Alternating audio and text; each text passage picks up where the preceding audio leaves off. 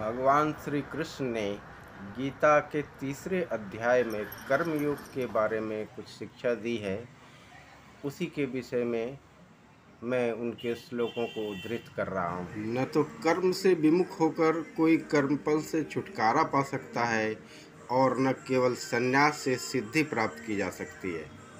प्रत्येक व्यक्ति को प्रकृति से अर्जित गुणों के अनुसार विवश होकर कर्म करना पड़ता है। अतः कोई भी एक क्षण भर के लिए भी बिना कर्म किए नहीं रह सकता। अपना नियत कर्म करो, क्योंकि कर्म न करने की अपेक्षा कर्म करना श्रेष्ठ है। कर्म के बिना तो शरीर निर्वाह भी नहीं हो सकता।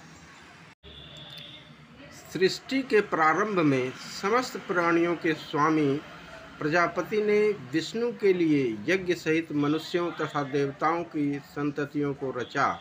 और उनसे कहा, तुम इस यज्ञ से सुखी रहो, क्योंकि इसके करने से तुम्हें सुखपूर्वक रहने तथा मुक्ति प्राप्त करने के लिए समस्त वांछित वस्तुएँ प्राप्त हो सकेंगी।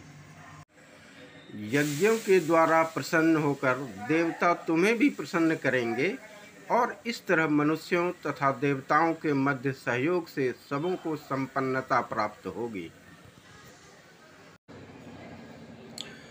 कर्म फल में आसक्त हुए बिना मनुष्य को अपना कर्तव्य समझकर निरंतर कर्म करते रहना चाहिए, क्योंकि अनासक्त होकर कर्म करने से उसे परम ब्रह्म की प्राप्ति होती है।